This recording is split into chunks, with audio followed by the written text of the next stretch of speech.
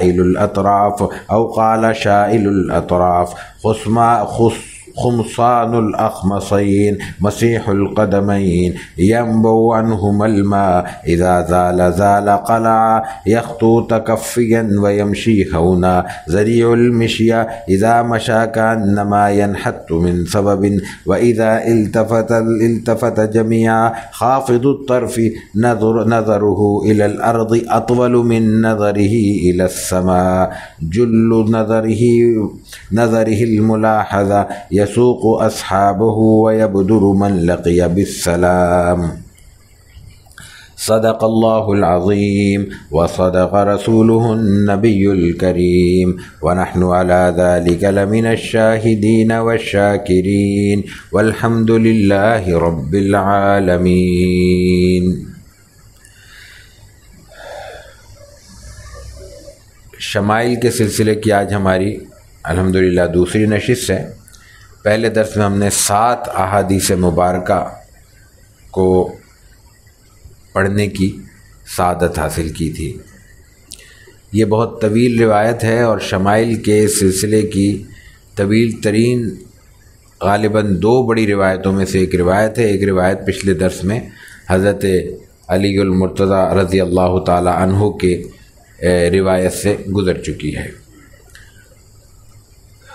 इस रिवायत से कुछ बड़े हमारे इबाम सीरत तय्यबा के हवाले से हमारे जहनों में बैठ बैठी हुई कुछ जदीद किस्म की उलझनें भी दूर होती हैं। रिवायत अरबी अल्फाज और अरबी तरकीब के लिहाज से भी इंतहाई मुश्किल तरीन रिवायत है। और ये बात मैं इब्तदाई में इसलिए कह रहा हूँ कि उसमें, मफहूम में, बताने में, समझाने में कोई तर्जुमे में हमसे उसका मुमकिन है कि हक़ अदा न हो।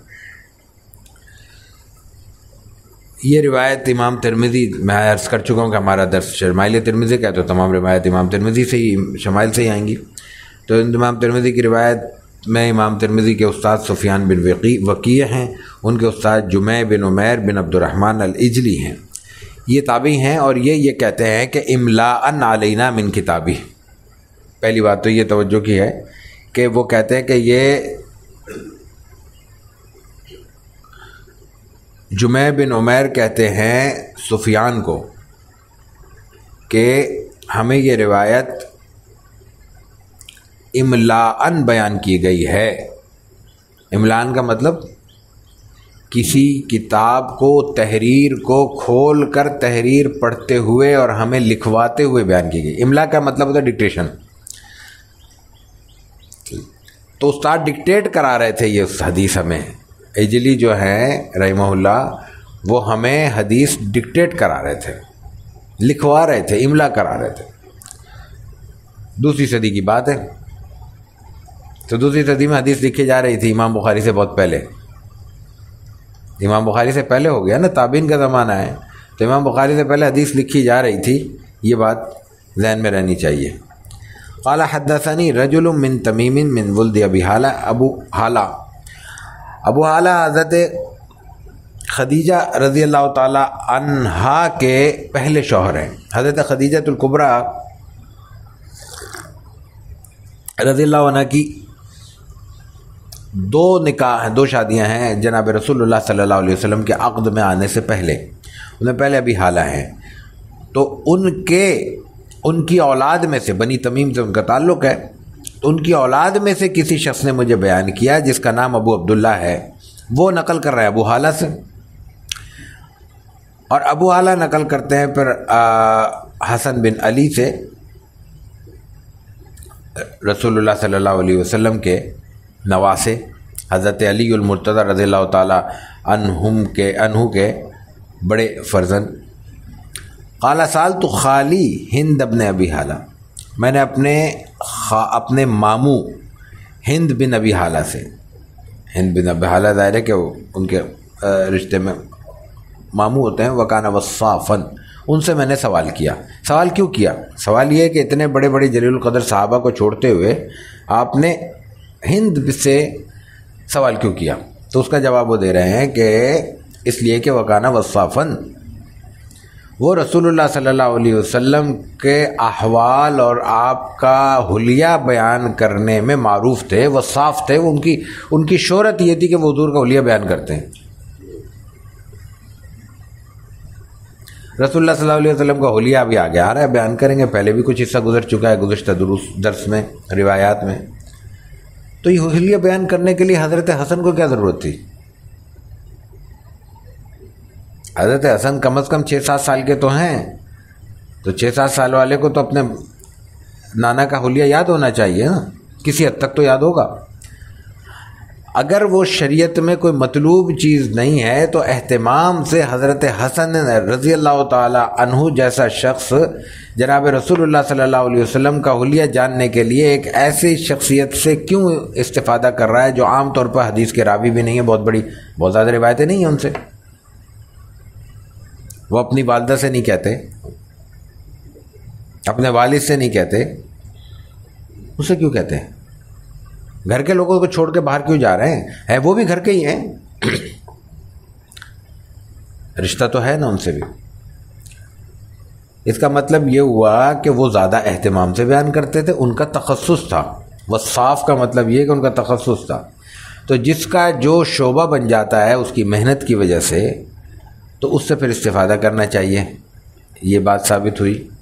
दूसरी बात यह है कि सिर्फ़ सल्लल्लाहु अलैहि वसल्लम के शख्सियत को, आपके हुलिये को, आपकी ज़ाहरी शक्ल सूरत को जानना भी एक मोमिन की ज़िम्मेदारी है। यूनी उससे मोहब्बत का रिश्ता इस कदर गहरा है कि उसके लिए ये बुनियादी चीज़ बन जाती है। हमारे यहाँ एक बात मुझे महसूस हो रहा है, या वल्ला आलम, हो ही शिद्दत से रही है अब जब हम भी सीरत की बात करते हैं तो पहला जुमला हमें ये मिलता है कि भाई सीरत पे तो बहुत कुछ लिखा जा चुका है। तो हज़रत हसन के सामने बहुत कुछ बयान हो चुका होगा। वही बात हो गई। सीरत को इस तरह पढ़ने का कोई फ़ायदा नहीं है।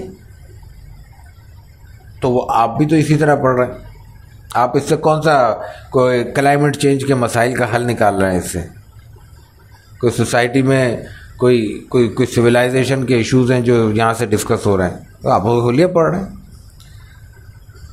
तीसरी बात यह है कि, बल्कि असल बात यह है कि सीरत तय्यबा रसूलुल्लाह सल्लल्लाहु अलैहि वसल्लम से ताल्लुक़ का नाम है।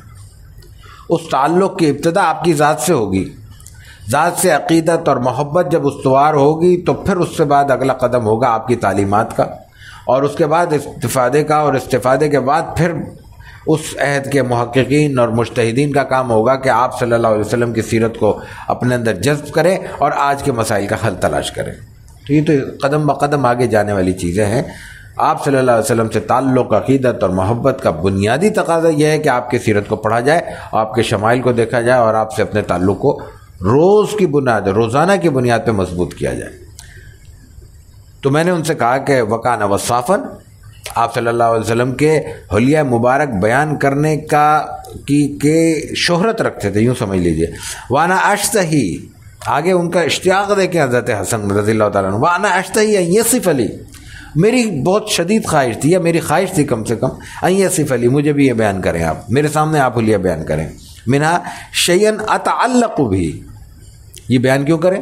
मैं क्यों सुनूं? क्यों सुनना चाहता था? क्यों ख्वाहिश रखता था? अतअल्लक भी अब इसमें सारी बातें आ गई। पहली बात, अतअल्लक भी इस सीरत से, इस होलिये से अपना ताल्लुक़ उसवार करूँ। दूसरी बात यह भी है कि उस होलिये को उसी तफसील से जानकर उससे मैं ऐसा अपना ताल्लुक़ कायम करूँ कि फिर मैं वो आगे बयान कर सकूँ। ताल्लुक़ भी में तो ये मफहम आ रहा है ना, उसमें शामिल है।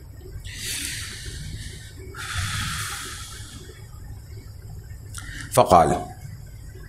ये जब बात हो गई, मैंने उनसे दरख्वास्त की तो ज़ाहिर है कि हज़रत हसन का कहना या उनकी फरमाइश कौन झुटला सकता है, कौन उसमें कोई तसाहुल कर सकता है तो उन्होंने बयान करना शुरू कर दिया। क्या कहा? काना रसूलुल्लाह सल्लल्लाहु अलैहि वसल्लम फ़खमन मुखफ़मा आप सल्लल्लाहु अलैहि वसल्लम अपनी ज़ात में बड़ी अजमत रखते थे, और दूसरों के दिलों में भी आपकी अजमत पेवस्त हो जाती थी। जब कोई आपको देखता था तो उसकी अजमत आप, उसके दिलों में सब्त हो जाती थी।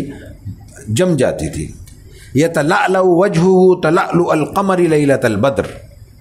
आप सल्लल्लाहु अलैहि वसल्लम का चेहरा अनवर ऐसे चमकता था, जैसे चाँद चमकता है और वो भी चौदहवीं का चाँद। चौदहवीं की रात को जैसे चाँद की चमक अंधेरे की कैफियत में पूरे माहौल पर हावी आ जाती है और चाँद के सिवा कुछ सुझाई और दिखाई नहीं देता।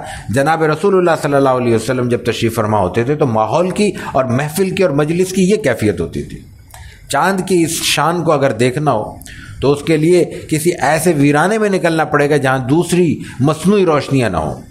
तो रसूलुल्लाह सल्लल्लाहु अलैहि वसल्लम की चमक से भी मुतासर होने के लिए और उसको, उससे महजूज होने के लिए, उसको अपने अंदर उतारने के लिए हमें मसनू चमक और मसनू रोशनियों से अपने आज़ाद, अपने आप को आज़ाद करना होगा। हम अपनी इन रोशनियों में बैठ के अगर चाँद को देखें, चाँद फिर भी तासर पैदा करेगा, चाँद फिर भी अपनी तरफ़ खींचेगा, लेकिन उस रोशनी की वजह से उस चाँद की चमक हमें उस तरह महसूस नहीं होगी, जिस तरह के किसी अंधेरे में महसूस हो सकती है, किसी ऐसे वीराने में महसूस होती है, जहाँ सैकड़ों किलोमीटर दूर तक कोई रोशनी ना हो। फिर चाँद की चमक देखें, फिर सितारों की चमक देखें, फिर आसमान की कुदरती अपनी चमक देखें, और फिर चौदहवीं की शब को जो चमक होती है, वो मुलायदा करें। तो रसूलुल्लाह सल्लल्लाहु अलैहि वसल्लम से भी इस्तेफादे में जो हमें कमी महसूस हो रही है। या आप सल्लल्लाहु अलैहि वसल्लम की जो रोशनी है ये आपकी ज़ात का जो नूर है, वो हमें अपने अंदर उतरता हुआ महसूस नहीं हो रहा। उसकी बुनियादी वजह यह है कि जो मसनू रोशनी है, उसने हमें हमारी आँखों को चुंधिया दिया है। तो जब आँखें चुंधी हुई होंगी तो फिर बहुत सी चीज़ें हमारी नज़रों से ओझल हो जाएँगी। अतवाला मिनल मरबुड़ छोटे कद वाले से, ठिगने कद से, पस्त कद से आप तवील थे। व अक्सरा मिनल मुशज़ब और तवील कद वाले से आप छोटे थे। यानी दरमियाने थे। तवील से मुराद कोई लंबी शख्सियत देख ले तो हम उससे, उस, उसको देखने के लिए और उस, उसके पास आज की ज़बान में बैठ के जाके कोई तस्वीर वस्वीर खींचने के लिए तो हम उसके पास चले जाएँगे। लेकिन वो कोई आँखों को भाने वाली शख्सियत नहीं होगी। हम उसको एक आइडियल, एक कामिल, मुकम्मल और एक हैंडसम मर्द के तौर पर नहीं पेश कर सकते उसको। वो कौन होगा? वही जो जो जब लोग खड़े हुए हों तो लगे कि वो थोड़ा लंबा है। लेकिन वो इतना लंबा ना लगे कि आँखों को बुरा लगने लगे। तो ज़ात रिसालत माबल सलात तस्लीम, चूँकि हर लिहाज से आइडिया लें तो आपकी शख्सियत में भी ये ये एक मिसालियत मौजूद है। अजीम अलहमा, सर बड़ा था। ये बात पहले आ चुकी है कि ये सरदार सरदारी की, बड़ाई की, इल्म की, फजल की अलामत होती है सर का। आम तनासब से ज़रा बड़ा होना। गैर मामूली बीमारी की वजह से बड़ा होना नहीं। आम तनासब से थोड़ा सा बड़ा होना, उसको कहला रजील अशार, बालों में थोड़ा सा घूंगर था। ये सब बातें पहली रिवायतों में आ चुकी हैं तो इस पर हम तफसील से बात नहीं करते एक नई बात आ रही है आगे। इन इन फ़राक़त हकीकत फ़राक़ा वही फला। अगर कुदरती तौर पर मांग निकल आती तो आप मांग निकाल लेते थे। और वरना नहीं। ऐसे फिर मुख्तलिफ़ रिवायात मुहदसिन ने जमा किए हैं शुराह ने जमा किए हैं और बयान किया है। जिसका खुलासा ये बनता है कि आपने मांग निकाली है अहतमाम से निकाली है। मांग निकालने की इजाज़त भी दी है तो आप सल्लल्लाहु अलैहि वसल्लम का अमल है, मांग निकाली जा सकती है। निकालनी चाहिए मतलब कंगी वंगी करना में कोई कबाहत नहीं है, बल्कि बाल अगर इंसान रखता है तो उसको इस सलीके से रखे कि वो नज़र आए कि ये बाल है, ये बालों का हक़ है। इंसानी जिस्म के हर हर चीज़ का इंसान पर हक़ है। और ख़ुद इंसान का अपने ऊपर जो हक़ है, वो यही है कि अगर इंसान के पास कपड़े हैं तो वो सरा सलीके से रखे। इंसान को अल्लाह ने चेहरा दिया है तो उसको धो मांझ के साफ़ सुथरा रखे। जिसम दिया है तो उसको साफ़ सुथरा रखे। इंसान को अगर बाल अल्लाह ने अता किए तो उनको सलीके से, सफ़ाई से, तहजीब से महजब करके ऐसा रखे कि देखने वाले को उसमें उसमें उजलापन महसूस हो, अच्छापन महसूस हो, कोफ्त और कराहत का तस्वुर ना आए। तो रसूलुल्लाह सल्लल्लाहु अलैहि वसल्लम ने बाल रखे। दूसरी बात इससे यह भी मालूम होता है कि आम तौर पर खुदा जाने कहाँ से हमारे यहाँ ये तस्वुर आ गया है कि बाल न रखना कोई सुन्नत है। गंजे रहना हर वक्त, उस तरह फिरवा के रखना, ये सुन्नत है, ये सुन्नत नहीं है। रसूलुल्लाह सल्लल्लाहु अलैहि वसल्लम ने, उम्र के वक्त पे, हज के वक्त पे आपने बाल मुंडवाए और बाकायदा बाल मुंडवाए मतलब उसमें हल्क करवाया, कसर नहीं करवाया। ये सुन्नत है, ये करें अहतमाम दें। लेकिन आम वक्त में बाल रखने में, बाल रखना सुन्नत है, न रखना सुन्नत नहीं है। न रखे किसी मजबूरी के तहत तो इजाज़त है, कोई शरीयत का हुक्म नहीं है। लेकिन सुन्नत समझ के करना तो ये खुद बिदत है। किसी वो बात को, जो बात साबित नहीं हो रसूल सल्लल्लाहु अलैहि वसल्लम से, और हम उसको कहें कि नहीं, ये नेक काम है, ये सुन्नत काम है, ये करना ये दायरे के फिर गुनाह का काम होगा। वही लाफला। अगर आप बाल नहीं निकलती थी तो आप नहीं निकालते थे। युजाविज शारू शहमत नहीं इज़ा हुआ वफ़र हो जब आपके बाल आप छोड़ देते थे, यानी कुछ अरसे नहीं काटते थे। छोड़ने का मतलब क्या होता है? थोड़ा सा नहीं काटा। तो आपके बाल कान की लौ से नीचे आ गए थे। हाँ शाहमत उजू नहीं शाहमा ये कहते हैं, ये उजू नहीं कि शाहमा है। इससे नीचे आ गए थे। तो यहाँ तक आ गए थे बाल। ठीक है? रखना जायज़ है। कोई मसला नहीं है। इसकी तफसील थोड़ा आगे रिवायात में और बालों का अलग बाप बांधा है, इमाम तिरमिजी ने, वहाँ भी बयान हो रही अजहर अल्लाह इंतहाई खिले हुए रंगत वाले थे। अब ये जो खिली हुई रंगत है, अजहर, इसमें बहुत सारी बातें शामिल हो जाती हैं। और वो रिवायतें मुसलसल आएँगी। आगे इसमें भी कई जगह ये लफ्ज़ आएगा, आगे भी आएगा। और उसमें कभी चांदी से तशबी दी जा रही है, कभी अपना चाँद से तशबी दी जा रही है, कभी कोई और तशबी दी जा रही है। इन तमाम तशबीहात का तर्जुमा तो हम करते रहेंगे, लेकिन इन तमाम तशबीहात का खुलासा क्या है कि रसूल वसल्लम का रंग गुज्त दर्स में भी रिवायतें गुजर चुकी हैं, चूने की तरह नहीं था। यानी ऐसा ठंडा रंग जो आँखों को नहीं भाता, उसमें मलाहत थी। मलाहत का जो लफ्ज़ अरबी ये अरबी से आया है ना, मलाहत अरबी का लफ्ज़, मलाह का मली मिल्ह मिल्ह नमक को कहते हैं। उर्दू में भी रंगत के लिए भी ये लफ्ज़ इस्तेमाल होता है कि फ़लाँ के चेहरे में नमक है, फ़लाँ के रंगत में नमक है। नमक का मतलब होता है कि उसमें हल्की सी सुर्खी और वो जो खालिश चूने वाली सफ़ेदी है, उसके बरक्स एक रंगत। जो आँखों को चुभती नहीं है, आँखों को भाती है, वो रंगत थी। अब बात सारी यह है कि ये सब वो अल्फाज हैं या वो तशबियात हैं जो हमें बिन देखे बयान करनी है, बिन देखे समझनी है, बिन देखे उससे एक जहन में तस्वुर कायम करना है। मसला यह है कि रसूलुल्लाह सल्लल्लाहु अलैहि वसल्लम की शख्सियत एक ही थी। आपका चेहरा अनवर भी एक ही था। और वो चेहरा अभी बनाया है तो जैसे पिछली नशित में भी हमने वो शेर पेश किया था कि वो का अन्ना का कद खुलिक तक कमाता शाह शायर कहता है कि आपको ऐसे अल्लाह ने पैदा किया जैसे आप चाहते थे। गोया कि आप ऐसे ही चाहते थे। तो अब इंसान आपके लिए क्या चाहेगा?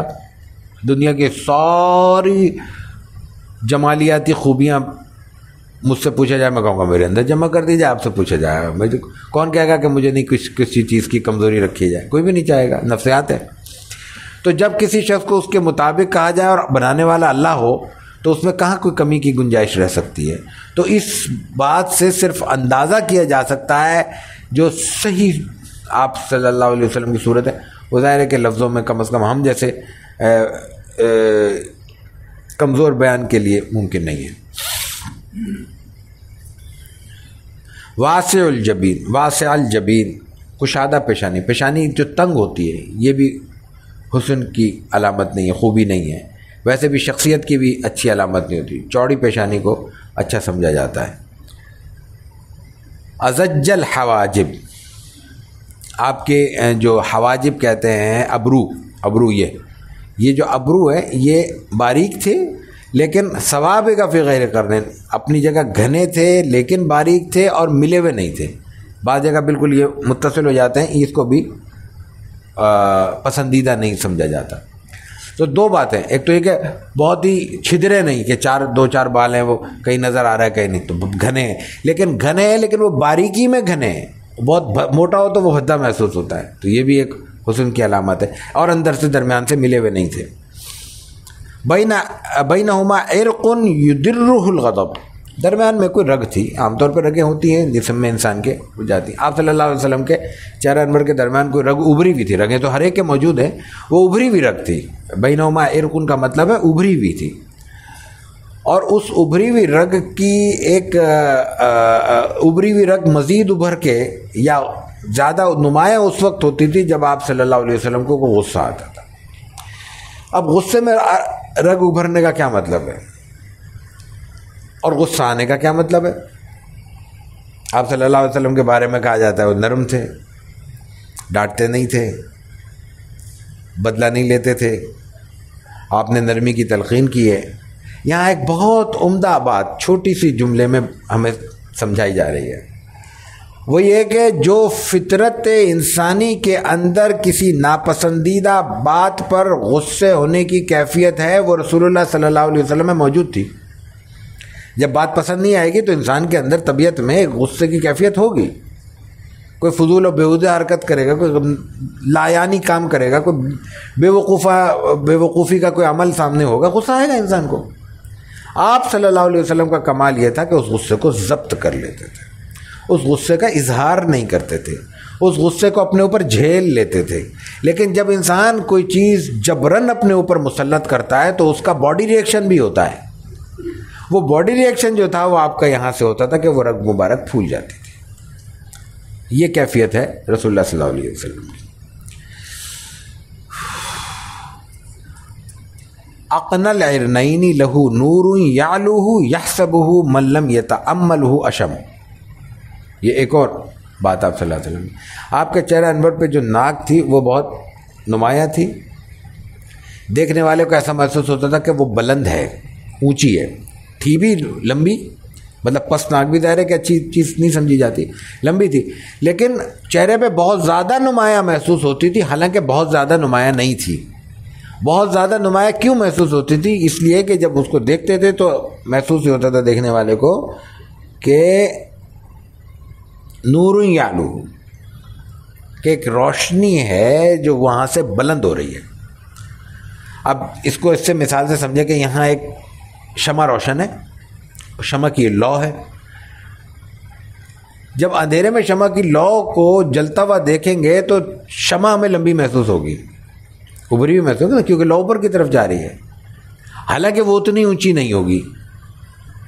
तो रसूलुल्लाह सल्लल्लाहु अलैहि वसल्लम के चेहरे अनवर पे नाक की कैफियत ये थी कि वो बुलंद तो थी।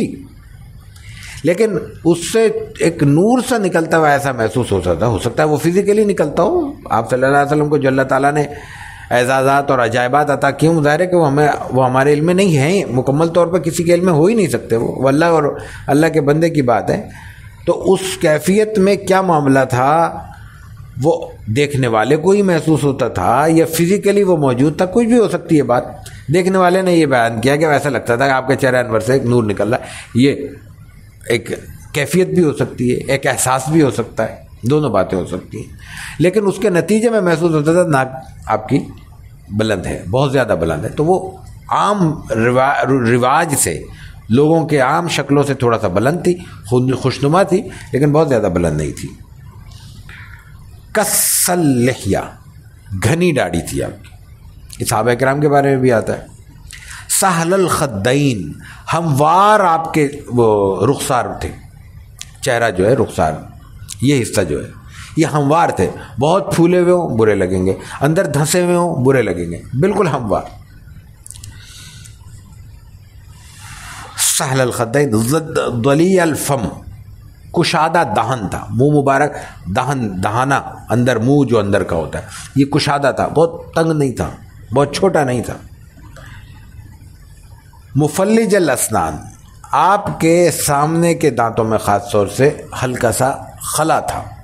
और दूसरी रिवायतों में आता है कि जब आप गुफ्तु फरमाते थे, यहाँ से भी एक रोशनी निकलती हुई महसूस होती थी। दकीक मसरबा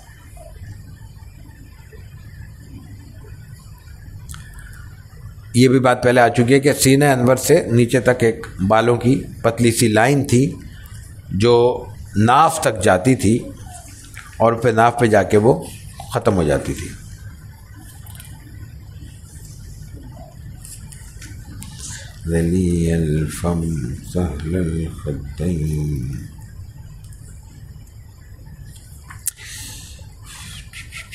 का अन्ना उन कहू जीदू दुम यतिन फ़ी सफ़ा इल्फ़िदा यह अजीब तरकीब इस्तेमाल की है। और उस ज़माने में की है। रसुल्ला सल्लल्लाहु अलैहि वसल्लम के ज़माने में तरकीब इस्तेमाल की। रावी ये कहते हैं, यानी हिंद बिहाला कि आपकी गर्दन ऐसे थी जैसे किसी मूर्ति की गर्दन होती है जो चांदी से बनी हुई मूर्ति हो।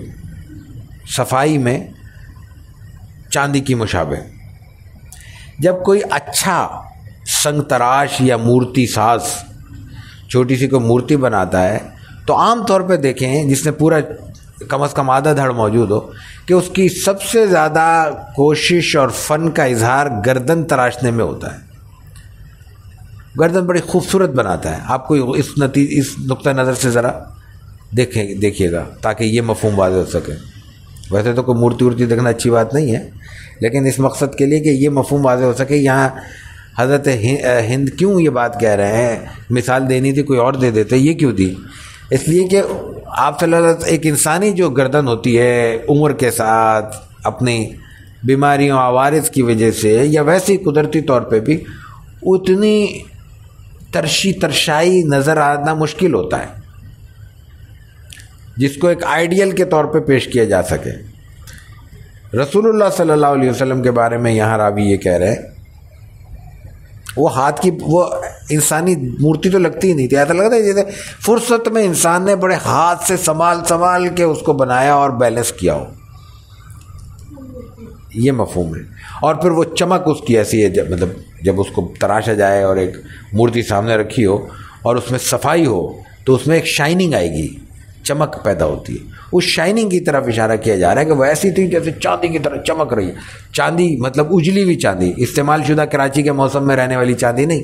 जो तो महीने छः महीने में काली पड़ जाती है। नहीं ताज़ा ताज़ा किसी कारीगर किस्म के सुनार का हाथ लगे हों और उससे वो फिर धुल के और चमक के सामने आई हो तो वो जैसे शाइन करती है, ऐसे रसोल्ला वसल्लम की गर्दन मुबारक चमकती थी।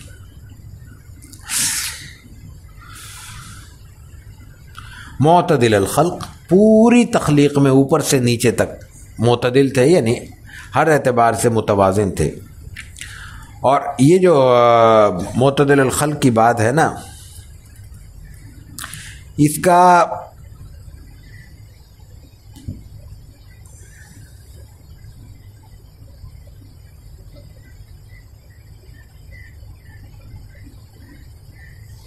इसका ताल्लुक पूरे वजूद से है। आगे भी यही बात आ रही है।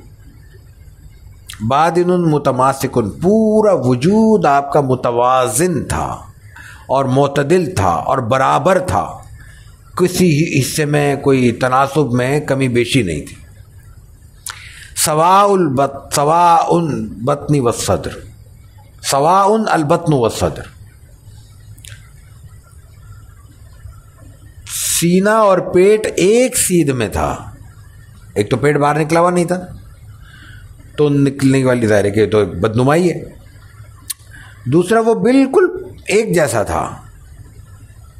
कहीं ऐसी कोई कमी बेशी कि इंसान आज के ज़माने में कोई सूट पहने तो वो डिस्टर्ब हो, किसी दर्जी से उसको उसको सीधा करना मुमकिन ना हो, ये कैफियत नहीं थी। बिल्कुल बिल्कुल पूरा वजूद एक मुतवाजन और एक एक एक रुख पर और एक सीध में था।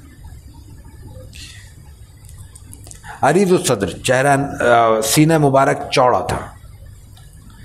बुईद माबैन अलमन का बैन ये पहले बात आ चुकी है कि दोनों कंधों के दरमियान फासला ज़्यादा था। चौड़ा था मतलब ये चौड़े होने की अलामत है। ज़ख्मुल करादीस, ये भी वही बात आ रही कि आपके आज़ा, आपके जिस्म की जो हड्डियाँ थी, वो मज़बूत भी थी और बड़ी थी।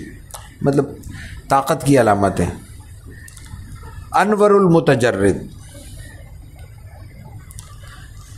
इंसानी जिसम के दो हिस्से होते हैं आमतौर पर जैसे हम बैठे हुए सब।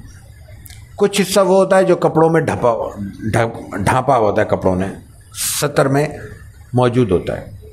जिसमें सीना है, पेट है, पीठ है, टांगे हैं, घुटने हैं, ये सब चीज़ों में हाथ हैं, बाहें हैं, ये सब छुपे हुए हैं। कुछ हिस्सा चेहरा खुला हुआ है।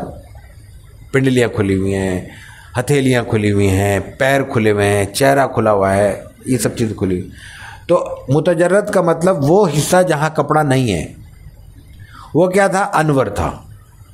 वो चमकता था, रोशन था। सिर्फ़ चेहरा नहीं, हाथ भी, पैर भी ये सब चीज़ें आपकी चमकती थी। मौसूल माबैन लब्बत व सुरत बिशार यजरी कल ख़त। ये बात पहले भी आ चुकी है कि ऊपर से नीचे तक, नाव तक एक पतली सी लकीर थी बालों की, बस यही बाल था। आर्य सदिय निवलबतनी मासी वाजाली का उसके अलावा जो ये छाती है, सीना है और पेट है, यहाँ पे कोई बाल नहीं थे आपके। अशारुजराइन वल मनकबैन व आली सदर। सीने के ऊपर थोड़ा सा पैरों पे, हाथों पे, यहाँ थोड़े थोड़े बाल थे। मफहम यह है कि एक ये कि बिल्कुल जिन जिसम पे बाल ना हो, ये भी कोई अच्छी बात नहीं समझी जाती। ऐसा भी नहीं था। और एक ये हो कि इंसान दूर से बिन मानस नज़र आए। बाली बाल बाली बाल बाली बाल, ऐसी कैफियत भी नहीं थी। मतदिल, जहाँ बाल अच्छे लगते वहाँ बाल हैं। जहाँ बदनुमा महसूस होते वहाँ नहीं है। जितने अच्छे लगते हैं, उतने हैं। जितने में बदनुमाई शुरू हो जाती है, वो नहीं होते। बस मुख्तसर ये बात। मुख्तलिफ़ अल्फाज में यही बात बयान हो रही है। तवील उज्जंदैन तवील उज्जंदैन का मतलब है, ये बाहें लंबी थी।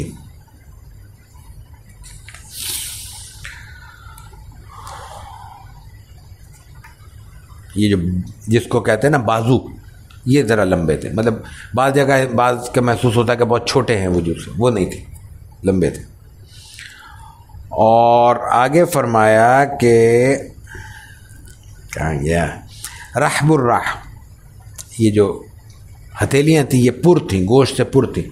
हथेलियाँ बाद होगा तो है बिल्कुल हड्डियाँ हैं, और यह बिल्कुल नीचे पिचकी हुई हैं। वो क्या कहते थी? भारी थी। शतनकफ़ैन वलकदमैन ये हाथ हथेलियाँ भी पुर थी, और पैर भी गोश्त से पुर थे। पैर, कदम का जो हिस्सा होता है। वह साइल अतराफ़। लेकिन जो हिस्सा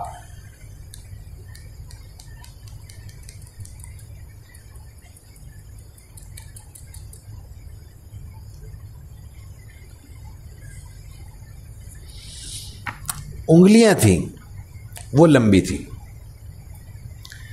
मतलब बहुत छोटी उंगली नहीं थी, उनमें तिवालत थी।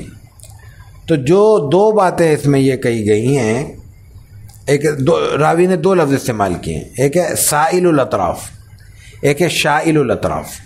साइल और शाइल का एक ही मतलब है, तरफ़ उंगली को कहते हैं ना तो लंबी उंगली है।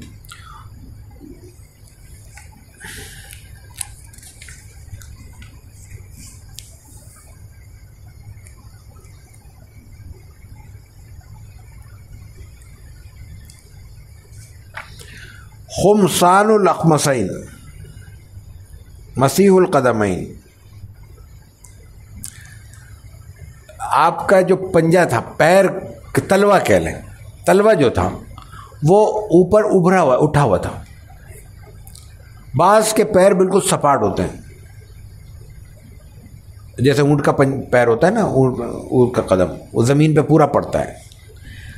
उसमें और एक ये कि इस तरह उठा हुआ हो, नीचे खला हो, इनमें फ़र्क है। ख़ास तौर पे चलने के एतबार से, रफ्तार के एतबार से, नीचे अंदर से खला होना, ये पैर में लचक पैदा करता है और इंसान बहुत आसानी से कदम उठा सकता है। और वैसे भी खूबसूरती की अलामत समझा जाता है। तो आप सल्लल्लाहु अलैहि वसल्लम के पैर के नीचे जगह खाली थी, गोश्त नहीं था। और दूसरी बात ये की, कि आपके जो पैर थे, कदम थे, पिंडलियाँ जो थी, उन पर गोश्त ऊपर कम था। नीचे गोश्त था, हथेली में भारी है, पैर में गोश्त है, लेकिन वो ऊपर उठा हुआ है। और आपके जो एड़िए हैं उनके ऊपर गोश्त नहीं था। और उसके साथ साथ उनमें एक एक आ,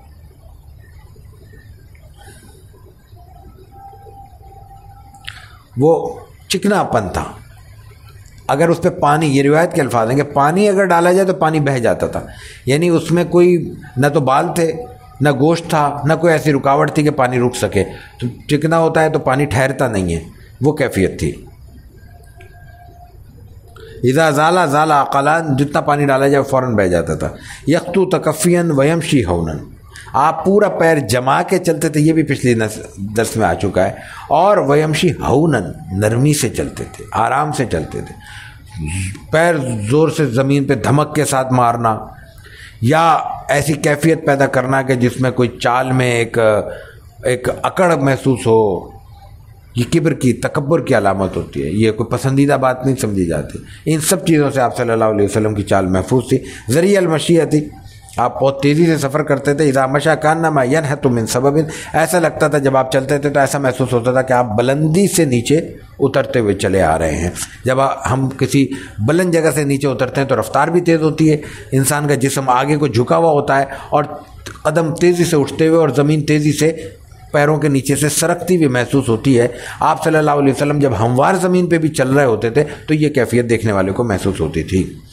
वहीदा अल्तफ़त अल्तफ़त ज़मीन ये बात भी पहले आ चुकी है और ये बहुत गैर मामूली बात है। हमारे आजकल के रवैयों में बहुत बड़ी कमज़ोरी है कि हम मिलते हैं और कोई शख्स हमें हमें मतलब हमें तारुफ ना हो या हम मिलना ना चाहते हों या हमारी दिलचस्पी ना हो तो फिर हम मजबूरन मजमे में बैठ के लोगों से मिल लेते हैं।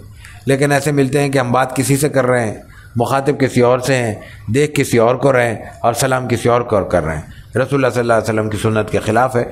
आपकी सुन्नत ये इदा इल्तफ़त इल्तफ़त ज़मीन जब आप मुतवजह होते थे किसी ने मुखातिब कर लिया तो अब आप हाथ मिला रहे हैं बात कर रहे हैं तो अब आप आपसे कर रहे हैं तो आपसे कर रहे हैं। आपसे कर रहे हैं तो आपकी तरफ़ मुतवजह ये नहीं कि आपकी तरफ़ मुतवजह और मुखातिब किसी और को कर रहे हैं। खाफद तरफ़ आपकी नज़र जो है ना वो झुकी हुई होती थी और आ, मतलब आ, इसकी वजाहत हो रही है नज़र अर्ज़ी अतवल मिन नज़र ही समा। आप सल्लल्लाहु अलैहि वसल्लम जिस कदर ऊपर देखते थे उससे ज़्यादा नीचे देखते थे। यानी ज़मीन पे देखते थे नज़र नीचे रखते थे खाफिज तरफ़। नज़र नीचे होती थी आप। ऊपर नहीं देखते थे सामने नहीं देखते बाद तो यूँ नज़र होती है। हाँ, ये कैफियत नहीं होती थी ये होती थी कैफियत। और जिस कदर आप ऊपर देखते थे उससे ज़्यादा नीचे देखते थे। आपकी नज़र आमतौर पर ज़मीन पर रहती थी। यही अदब है। यही तरीक़ा है जो हमें सिखाया गया है। जुल्लु नजरिहिल मुलाहजा। आप सल्लल्लाहु अलैहि वसल्लम मुकम्मल मुखातब होकर देखते थे कनखियों से देखना जिसको हम कहते हैं ना, देख इधर रहे और कहानी आँख इधर लगाई हुई ये कमज़ोरी की अलामत है ना, छुपा रहे हैं हम कुछ किसी से। तो ये कैफियत अहतमाद की कैफियत नहीं होती, ये कैफियत शख्सियत की कैफियत नहीं होती, ये कमज़ोरी की अलामत है। बुरी बात है मतलब जो भी देखता है उसको भी बुरा लगता है, वो बात नहीं थी आपकी। व असाब वबदुरमन लकीसलाम और जब आप कहीं गुजरते थे, लोगों से मुलाकात होती थी तो आगे बढ़कर सलाम करते थे। इब्तदा सलाम की इब्तदा आप ख़ुद करते थे, सलाम की इब्तदा करने में। इब्तदा सलाम करने में आप पहल किया करते थे।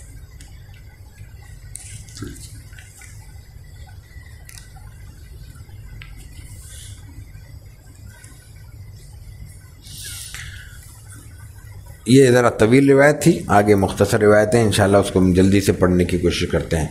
वबी काला हदसना अबू मूसा महमद उबनमसन्ना काला हदसना महमद उबन जाफ़र काला हदसना शुबा अन सिमाक इबन हरबिन, काला समेत जाबिर अबन समूरत रदी यकूल, कान रसूल सल्लल्लाहु अलैहि वसल्लम अली अल्फ़म अशकल मनहूस अक़ब क़ाल शुबत क़ुल्तुलसमा किन्मादलीफ़म क़ाल अज़ीमफ़म क़ुल्तुमा अशकलैन क़ाल तवील शक्लैन क़ुल्तुमा मनहूसलक़ब क़ाल कलीलहमिलक़ब ये रिवायत इमाम Tirmidhi Abu Musa Muhammad bin Musa Musanna से करते हैं उनके उस्ताद मूसा मोहम्मद बिन जाफ़र हैं मोहम्मद बिन जाफ़र शोबा से नकल करते हैं शोबा सिमाक बिन हर्ब से और ये बुनियादी तौर पर सिमाक बिन हर्ब और शोबा का मुकालमा है और रिवायत जाबिर इबन समूरा रदी अल्लाह तु की जाबिर कहते हैं कि काना रसूल अलैहि तीन बातें की हैं कि रसूल सल्लल्लाहु अलैहि वसल्लम जलील फम थे, अशकल अलाइन थे, मनहूस अलाकब थे। मनहूस छोटी हासिल अब ये तीनों बातें क्या है? जलील फम क्या है, अशकल आइन क्या है, मनहूस फम आकब क्या है? तो शोभा कहते हैं, मैंने ये बातें समाग से पूछी। यानी जिन्होंने जामिर इबन समूरा से पूछा है, उनसे पूछ रहे हैं शोभा। कि माजली उल्फम दली दुआ से ये क्या है? काला अजीम उल्फम बड़ा मुँह। दहाना, दहन मुबारक आप सल्लल्लाहु अलैहि वसल्लम का बड़ा था। ये बात आ चुकी है पहले तो इसमें कोई नई बात नहीं है। माँ अशकल लाइन ये थोड़ा सा नई चीज़ आई है। का तवील शक लाइन अब इसमें फिर मुहदसिन ने दूसरी रिवायतें भी जमा की हैं और मुफसरीन ने इस पर थोड़ी सी वजाहत की है। वो ये कहते हैं कि इसका मतलब है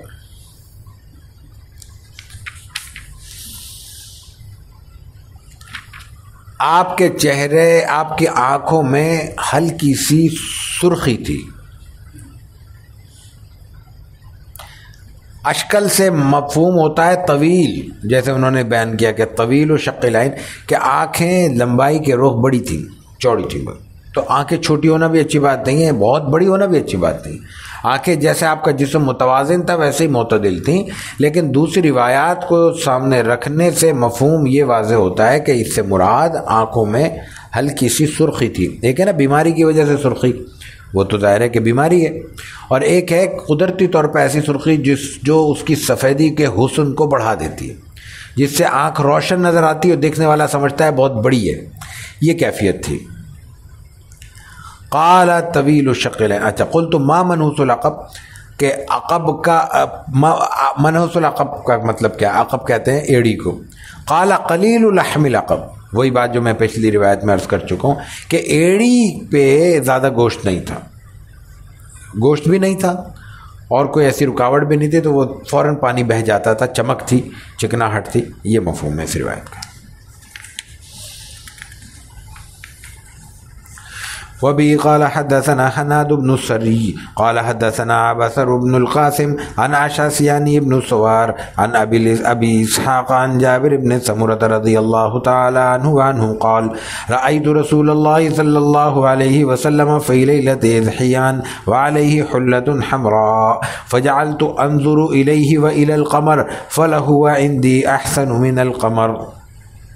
अब ये सब अकीदत की बातें हैं साहबा का रसोल्ला अलैहि से जो मोहब्बत का रिश्ता है, वो हज़रत जाबिर अपने समूरा अपनी अपनी फीलिंग अपने एहसास बयान कर रहे हैं।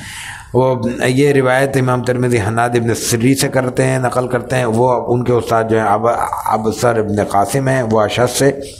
अशर का जो, यानी इबन सुवार सुवार के जो बेटे हैं, वो अशद अरबों में आम तौर पर नामों में और कुनीतों में अल्तबास पैदा हो जाता है। तो इसलिए बाद अवत रावी ये बयान कर देता है कि भाई ये कौन से हैं? तो इसकी वजाहत के लिए पहले तो कहा अशस तो अशस कौन से हैं? करे इब्न सुवार वो जो सुवार है ना, उनके बेटे वाले जो अशस हैं, वो दूसरे वाले अशस मुराद नहीं है। वो अबू इसाक से नकल करते हैं, अबू इसाक नकल करते हैं जाबिर इबन समूरा रज़ी अल्लाह तु से। क्या कहते हैं? राय तो रसूल अलैहि वसल्लम फ़ी लेलत इज़ियान। लेलत इज़ियान का मतलब चौदहवीं की रात को, चांदी, चांदनी शब को एक एक चांदनी रात को मैंने रसूल सल्लल्लाहु अलैहि वसल्लम को देखा।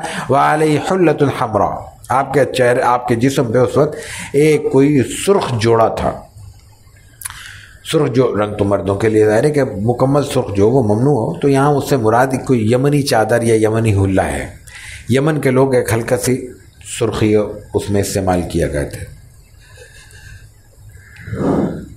तो उस नस्बत से रसूलुल्लाह सल्लल्लाहु अलैहि वसल्लम ने वो पहना हुआ था। आपका अपना चेहरा नवर फिर चौदहवीं की शव, फिर उस पर इतना शानदार, उस वक्त के लिहाज से आला तरीन लिबास। तो उस कैफियत में रसूलुल्लाह सल्लल्लाहु अलैहि वसल्लम के बारे में हज़रत जाबिर इब्न समूरा अपना एहसास नकल करते हैं, फ़जाल तो अनजुर इलही मैं कभी आपको देखता हूँ और कभी चाँद को देखता हूँ। और उसके बाद फिर मेरी राय ये बनी फल हुआ। इंदी मेरी राय ये बनी कि अहसन मिनल आप सूरज, चाँद से ज़्यादा खूबसूरत हैं।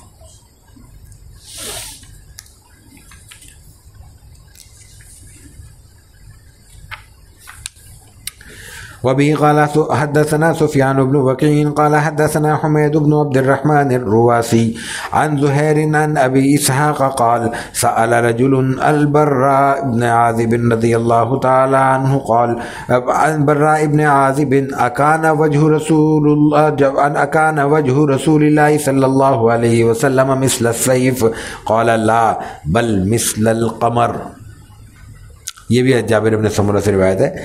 सुफियान बिन वकी, इमाम तिरमिज़ी के उस्ताद हैं। सुफियान नकल करते हैं हुमैद बिन अब्दुलरहमान से उमैद बिन अब्दुलरहमान नकल करते हैं जहर से, जहर अबू इसहाक़ से। और ये ये पिछली रिवायत भी अबू इसहाक़ ही नकल कर रहे थे उनसे। तो वो कहते हैं, अबू इसहाक़ के साल रजुल अलबर्रा इबन लाजिम कि किसी शख्स ने मेरी मौजूदगी में, यही मफहम होगा, मेरी मौजूदगी रिवायत में नहीं है, मैं कह रहा हूँ कि किसी शख्स ने जाबिर, हज़रत जाबिर से सवाल किया। मेरे सामने पूछा। सवाल क्या था? अकाना वजह रसूल सल्लल्लाहु अलैहि मिसल सैफ। कि क्या रसूल वसल्लम का चेहरा तलवार की तरह था?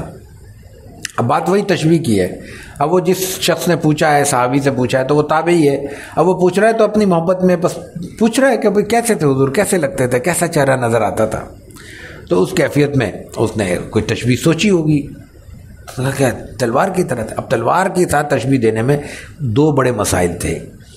इसलिए हज़रत जाबिर इबन समूरा ने कहा, ला, नहीं, तलवार की तरह नहीं थे। क्या था? ला बल मिसल कमर। अगर तुम्हें आज की दुनिया में तशबी दरकार ही है, अगरचे कि वो तशबी मुकम्मल नहीं है। इसलिए कि खुद जाबिर दूसरी रवायत में कह चुके हैं कि कहाँ चाँद, आप तो उससे खूबसूरत थे। लेकिन अगर तशबी देनी है तो फिर तलवार से मत तो चाँद से दो। दो बातें। तलवार लंबी होती है। चाँद गोल होता है। आपका चेहरा अनवर गोलाई की थोड़ा सा बैजवी था, लंबो हल्का सा लंबोतरापन। बोरा गोल भी तो ज़ाहिर है कि वो भी पसंदीदा चेहरा नहीं होता। तो तलवार से तशबी देने में वो लंबाई का जो तस्वर आता है, एक तो उसकी नफ़ी करना मकसूद था। गोल था, लंबोतरा नहीं था। और दूसरा ये बयान करना मकसूद था कि तलवार में चमक है। वैसे भी रखी हुई हो तो चमकती है। ताज़ा नई तलवार। 200 साल से मिट्टी में दबी हुई तलवार निकाली जाए तो उसकी बात नहीं हो रही। नई इस्तेमाल होने वाली तलवार जो वो चमकती है। और फिर दूसरी बात यह है कि उसकी चमक में उसकी चमक ज़्यादा हो जाती है जब वो चलाई जाती है। जब तलवारबाजी हो रही हो तो जब चमक चमक से टकराती है तो आँखें चुंदी आ जाती हैं। आँखों में चमक वो अच्छी नहीं लगती, आँखें बंद हो जाती हैं। चुनियाने का मतलब ये होता है कि चुभती है आँखों में। और आँखों को वो भाती नहीं है, जबकि चाँद आप घंटों देखते रहे तबीयत सैर नहीं होती। उसमें नरमी है, एक ऐसा मलाहत है कि इंसान उस पर कशिश महसूस करता है। तो यहाँ जब उस शख्स ने, रजुलुम, साल रजुलुम, किसी शख्स ने, दायरे को भी बड़े मरतबे की शख्सियत है दायरे के वो एक साहबी से पूछ रहे हैं तो ताबी हैं। लेकिन उन्होंने ये जब पूछा कि तलवार का से नस्बत तो नहीं दी जा सकती तो आपने हज़रत जाबिर इबन समूरा ने मना कर दिया कि नहीं, तलवार का मामला नहीं है यहाँ तो चाँद का मामला है मिसाल मिसाल देनी है तो फिर चाँद से दी जाएगी।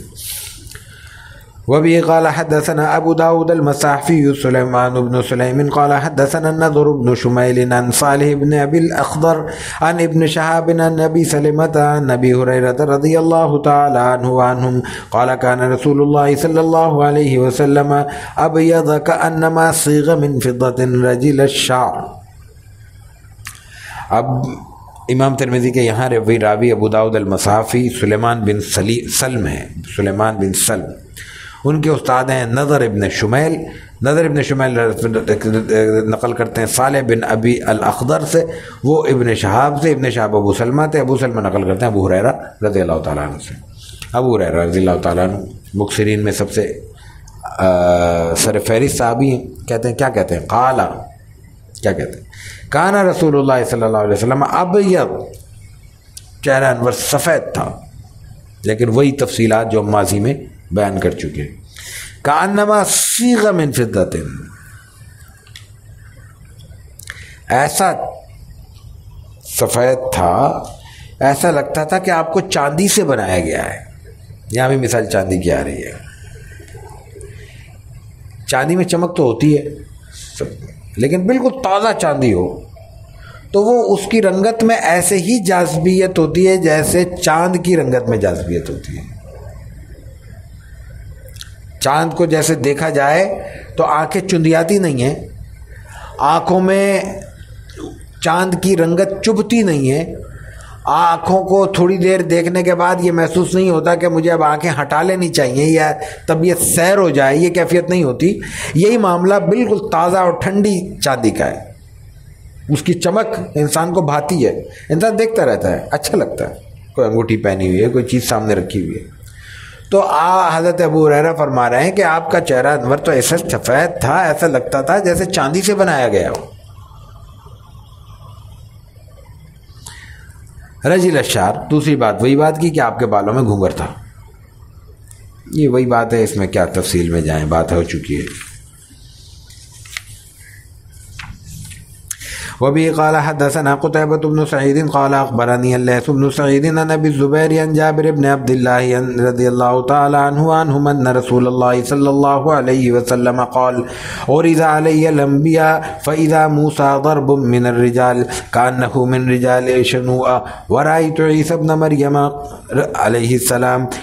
फ़ैज़ा अकरब मिन मन रईत बिही शबहन उर्वत बन मसऊद वराई तो इब्राहिम आसमाम फ़ैज़ा अकरब मन रईत बिही शबहन साहिबुकुम यानी नफसा वराई तो जबरील फ़ैज़ा अकरब मन रईत बिही शबहन दहिया ये अब बात दूसरी आ रही है इसमें ये रिवायत इमाम तिरमिज़ी कुतैबा बिन सईद से करते हैं उनके उस्ताद लैस हैं लैस के उस्ताद अबू ज़ुबैर हैं अबू ज़ुबैर ज़रूर करते हैं जाबिर इबन अब्दुल्ला साहबी हैं रज़ी अल्लाह तु वो कहते हैं कि रसूलुल्लाह सल्लल्लाहु अलैहि वसल्लम ने फरमाया अब ये कौली हदीस आई है अब तक ये अपनी आ, अपना वसल्लम के बारे में तासुराती हदीसें थी यानी साहब कराम अपना अपनी अपने एहसास नकल कर रहे थे।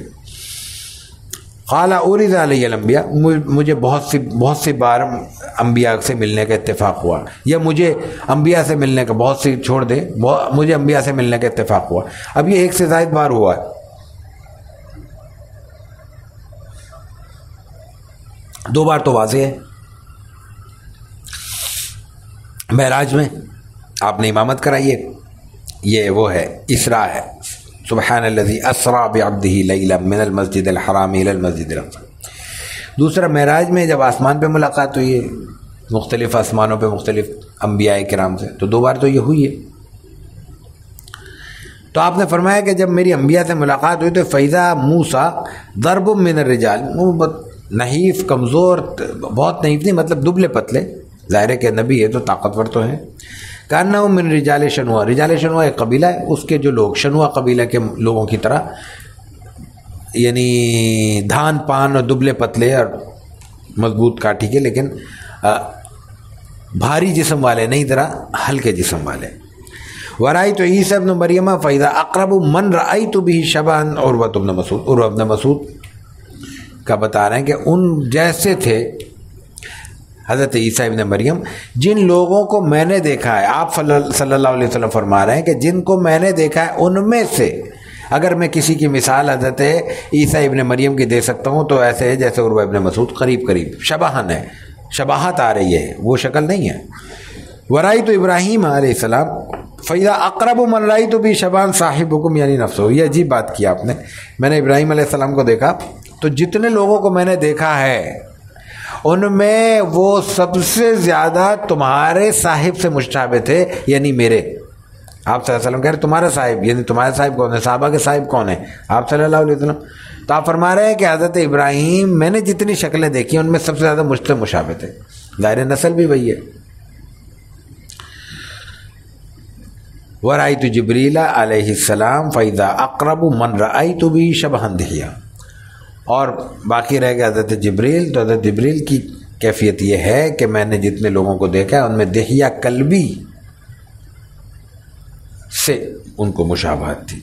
ये सिर्फ़ शक्ल की नस्बत से आप साहब ने बयान किया था तो यहाँ एक बात बयान करने के लिए रिवायत बयान की है कि रसूलुल्लाह सल्लल्लाहु अलैहि वसल्लम और हज़रत इब्राहिम तस्लीम की शक्ल आपस में मुशाबे थी। ये बयान करने के लिए यहाँ रिवायत बयान की गई है। वबी काल हदसना सुफियान बन वकीन व महमद बन बशार अलमाना वाहिद काल अखबरना यदीद बन हारून सईदुरैरी कौल समेत अबत तुफ़ैल यकूल रायतुलनबी सल्लल्लाहु अलैहि वसल्लम व मा बकिया अला वजहिल अर्द अहद रआहु गैरी क़ुल्तु सिफ़हु ली काल काना अबियद मलीहन मुक़स्सदा सुफियान बिन वकी इमाम तिरमिज़ी के उस्ताद हैं और मोहम्मद बिन बशार ये दो उस्ताद इमाम तिरमिज़ी के, यहाँ ये रिवायतें दो हो जाती हैं। ये दोनों नकल करते हैं, माना वाहिद, यानी रिवायत में अल्फाज थोड़ा फ़र्क हो सकता है, मफहम दोनों का एक है, कहते क्या है? दोनों ये कहते हैं कि हमें यजीद बिन हारून ने बनाया, बयान किया, यजीद बिन हारून कहते हैं कि सईद अल जुरैरी ने बयान किया, वो कहते हैं कि मैंने अबा तुफ़ैल से सुना। अबा तुफ़ैल कहते हैं कि यकूल, वो कहते हैं कि राय तो नबी अलैहि वसल्लम, अबू, अबा तुफ़ैल, दायरे अबू तुफ़ैल एक साहबी हैं। वह कहते हैं कि मैंने सल्लल्लाहु अलैहि वसल्लम को देखा है। व मा बकिया अला वजहिल अर्द अहदुन रआ हो गई और मेरे अलावा अब कोई यहाँ मौजूद नहीं है, जिसने रसूलुल्लाह सल्लल्लाहु अलैहि वसल्लम को देखा हो। यानी मेरे अलावा अब कोई सहाबी ज़िंदा नहीं है, ये मफहम उनकी उनकी बात का है। इनका जो इंतकाल हुआ, वो एक एक सन, एक सौ एक एक सौ दो के करीब इनका इंतकाल हुआ है। तो उनका ख्याल ये था ज़रूरी नहीं है कि ये बात दुरुस्त हो और ज़रूरी नहीं है कि ये बात गलत हो। दायरे है कि ये तारीख़ का सवाल है। साहब कराम के तस्करे पढ़ें तो हमें अंदाज़ा हो जाएगा कि उनके करीब करीब सबसे आखिर में वफात इनकी हुई है या किसी और की हुई है। लेकिन ये तो ऐसा है ना कि देखें, वो एक जगह बैठे हुए हैं। मदीने में भी साहब आए मक्के में भी साहब आए कोफे में भी साहब आए बसरा में भी साहब आए मकरान तक साहबा पहुँच चुके हैं। हिंदुस्तान, अफ़गानिस्तान में साहबा की खबरें मौजूद है। तो पूरी दुनिया में फैल गए हैं। कम्युनिकेशन तो नहीं है। तो मुमकिन है कि किसी को उनको उन, उनको उनका ख्याल ये हो कि जहाँ मैं बैठा हूँ जहाँ तुम्हारी तुम्हारी जो रीच है तुम्हारी जो रेंज है तुम्हारे जो दस्तरस है उसमें कोई और साहब ही नहीं मिलेगा इसलिए मुझसे सुन लो। ये मफहम भी हो सकता है। और एक जनरली भी हो सकता है उनका ख्याल है कि मैं इतनी उम्र का हो गया हूँ मुझसे पहले जितने साहबा थे वो सब बड़ी उम्र के थे वो सब वफात पा गए अब कौन बचा है मेरे अलावा? तो ये एक उनकी अपनी राय है। मुमकिन है दुरुस्त मुमकिन है जब तहकीक से कुछ और चीज़ साबित हो सके। तो बहरहाल बताना ये चाह रहे हैं कि ये आखिरी ज़माने की बातें हैं। तो कहते हैं कि राय तो नबी, वमा बक़ी अला वजह ज़मीन पर कोई मौजूद नहीं है मेरे अलावा, जिसने हजूर को देखा और कुल उली तो हमने क्या कहा? पर हमने कहा, हमें हजूर का हुलिया बयान कर दीजिए। आपकी सिफत, आप सिफत का मतलब होता है आपका, आपकी शख्सियत, आपकी शक्ल, सूरत, आपका हुलिया। काला काना अब यज़ मलीहन मुकसदा तीन लफ्ज़ हैं सिर्फ़। आपकी शख्सियत की जो बड़ी बड़ी रिवायतें पढ़ी हैं, आप देख लें, सब चीज़ें इसमें आ जाएँगी खुलासे के तौर पर अब यह सफ़ेद रोशन, लेकिन मलीह, वही बात, नमक की आमेजिश के साथ मुकसदन पूरे मुतवाजन,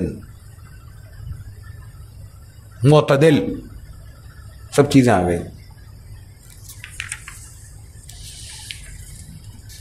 पंद्रह।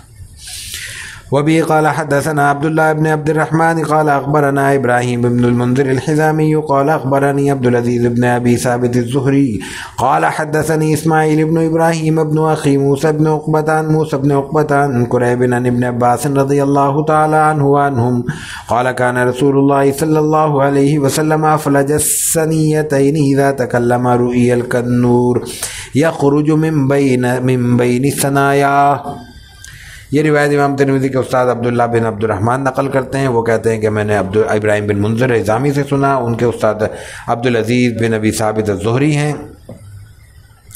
अब्दुल अज़ीज़ बिन अबी साबित ज़हरी कहते हैं कि हद हसन इसमाइल इबन इब्राहिम इबन अखी मूसा बिन उकबा। इसमाइल बिन इब्राहिम बिन अखी मूसा बिन उकबा। मूसा बिन उकबा जो सीरत के बड़े रावी हैं, सीरत निगार हैं और अनकरीब उनकी शायद किताब असल मखतूता भी पहली बार मंजर आम पर आ जाए, उनके भतीजे से उन्होंने नकल किया है और वो नकल करते हैं मूसा बिन उकबा से। क्या नकल करते हैं? मूसा बिन उकबा नकल करते हैं। कुरैब से कुरैब नकल करते हैं, इबन अब्बास से। इबन अब्बास रज़ी तु बड़े, यानी छोटों में बड़े हैं। एक तो बहुत छोटे हैं, बारह चौदह साल की उम्र में रसोल्ला वसल्लम का इंतकाल होता है। आप से रिश्तेदारियाँ हैं। और बड़े ऐसे हैं कि आप अपने ज़माने में आप सल्लल्लाहु अलैहि वसल्लम उनको बड़ों में बिठाते थे और फिर आपकी ये कदर साहबा के अहद में बहुत ज़्यादा सामने आई और उसका उसकी वजह सामने वाज है कि उन्होंने इतना मेहनत से और मशक्क़त से इल्म हासिल किया कि उसके सब के लिए वो मुख्तदा बने और सबके इमाम बने अपनी मेहनत से और सीरत के जो नशस्तें मजलिसें अहद सहाबा में शुरू हुई हैं, उसके बानी आप सल्लल्लाहु वसल्लम की सीरत के बयान के हवाले से वजरत इबन अब्बास कहे जा सकते हैं। कान रसूल वसल्लम अफलज सनीयतन। सनिया कहते हैं दो दांत सामने वाले। ऊपर वाले सनिया उलिया कहलाते हैं, नीचे सनिया सुफला कहलाते हैं अरबी में। तो सनीयतन ऊपर के सामने के जो दांत हैं, ये पहले रिवायतों में आता है कि आ चुका है कि उसमें हल्का सा एक गैप था। खुशनुमा गैप था। तो वही बताया कि अफला जसनीत है, सामने वाले दांतों में हल्का सा गैप था और इज़ा तकल्लमा, जब आप गुफ्तु करते थे तो देखने वाले को ऐसा महसूस होता था कि कोई नूर है जो उन दांतों के दरमियान से निकला चला आ रहा है। आपके चेहरे अनवर से नूर निकल रहा है, आपकी दांतों से नूर निकल रहा है, आपके नाक की बुलंदी से महसूस होता है कि नूर निकल रहा है। तो ये ज़ाहिर है कि आपकी शख्सियत है जो अल्लाह ताला ने इस तरह पैदा की है कि उसमें हर तरफ़ देखने वालों के लिए नूर ही नूर है। तो आपकी शख्सियत में इतना नूर है और आपकी आपकी जो तालीमत हैं, उनका क्या कैफियत होगी?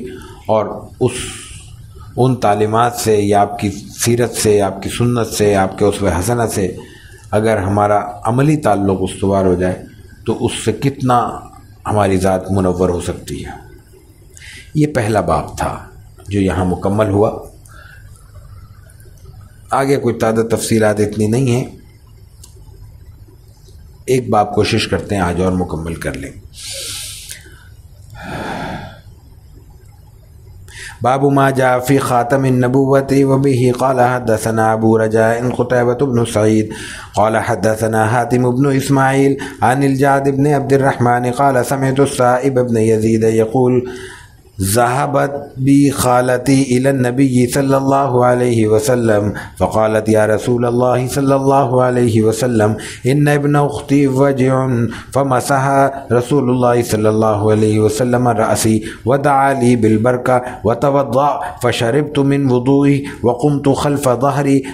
फनज़रतु इलल ख़ातम बैन कतिफ़ई फ़इज़ा हुवा मिस्लु ज़िर्रुल हजला इस रिवायत में आप सल्लल्लाहु अलैहि वसल्लम की ख़त्म नबूवत के बारे में, ख़ातम नबूवत के बारे में ज़िक्र होगा। आप सल्लल्लाहु अलैहि वसल्लम ख़ातम नबी है इस पर हम कुछ बात पहली नशीत में मुख्तसरा कर चुके हैं।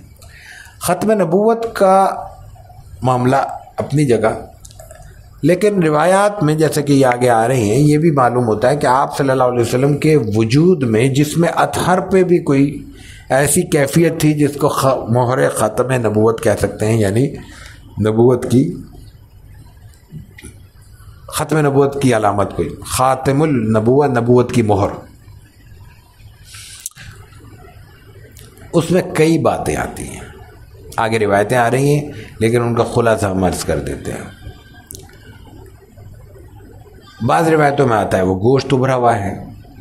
बाज़ रिवायतों में आता है, उसमें बाल उब थे बाज़ रिवायतों में आता है कि उसमें कोई कोई मस्से या तिल से बने हुए थे। तिल थे, मस्से थे, बाल थे। महसूस ये होता है कि कोई चीज़ थी जिसम पे कोई नुमाया सी चीज़ थी, कंधों के दरमियान, बैनल कतफ़ैन पीछे की तरफ़ कोई चीज़ थी। लेकिन जो भी देखने वाला देखता था, वो तस्वुर कीजिए कि रसूलुल्लाह सल्लल्लाहु अलैहि वसल्लम की शख्सियत के पूरे रोब के साथ देखता था।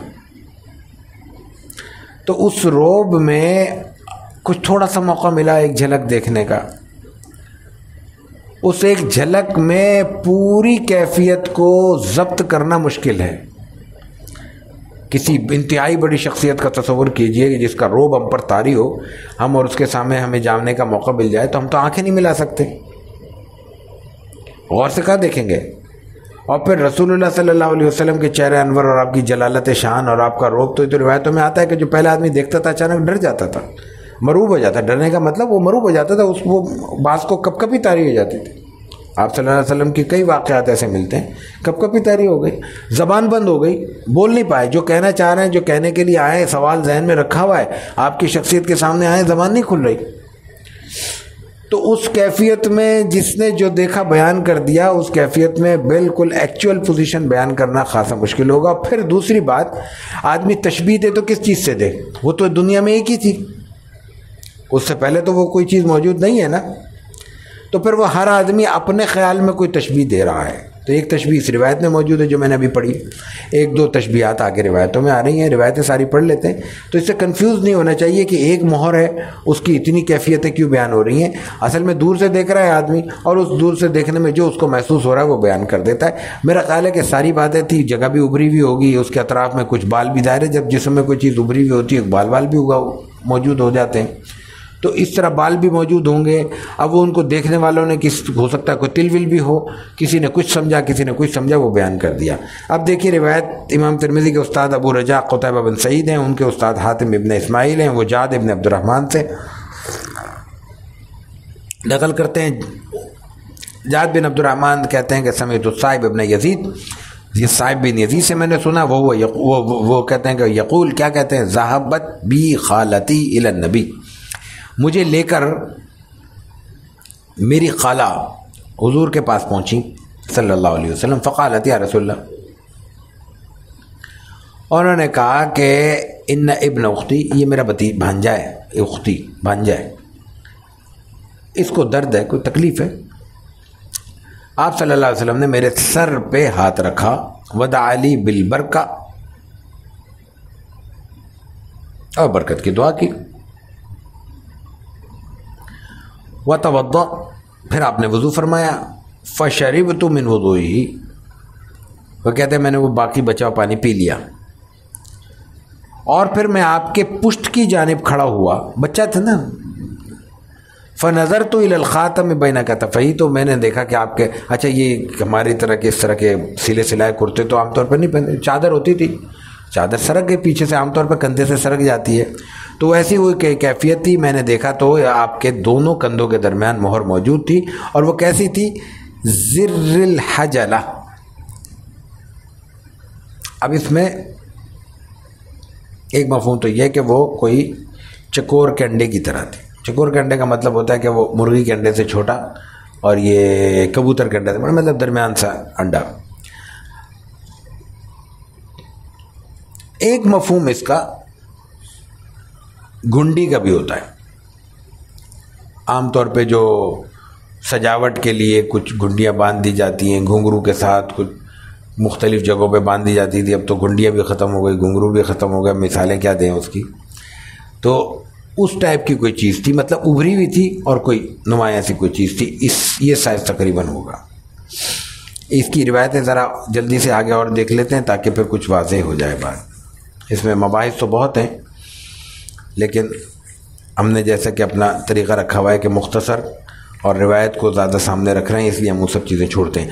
वबी काला हदसन सईद इबन याकूब तालिकानी काला अखबरना अयूब इबन जाबिर सिमाक इबन हरबिन जाबिर इबन समरत रदी अल्लाह तआला क़ाल, रअयतुल ख़ातम बैन कतिफ़ै रसूलिल्लाह सल्लल्लाहु अलैहि वसल्लम गुद्दतन हमरा मिस्ल बैदतिल हमामा। यहाँ भी वही बात आ रही है, घुंडी की तरह या कोई उभरे हुए गोश्त की तरह। आप चीज़ है। तो इमाम तिरमिज़ी के उस्ताद सईद बिन याकूब तालिकानी है, वो कहते हैं कि अयूब बिन जाबिर ने हमें बताया। अयूब बिन जाबिर नकल करते हैं समाक बिन हर्ब से। समाक बिन हर्ब वही जाबिर इबन समर रज़ी तु से नकल करते हैं। क्या कहते हैं कि रईतुल्ख़ातम बई नकतफ़ी रसूल सल्ला आपके दोनों कंधों के दरमियान मैंने मोहर देखी। गुद्दतन हमरा मिसल बैदतमामा यहाँ इन्होंने बैदत हमामा कहा है।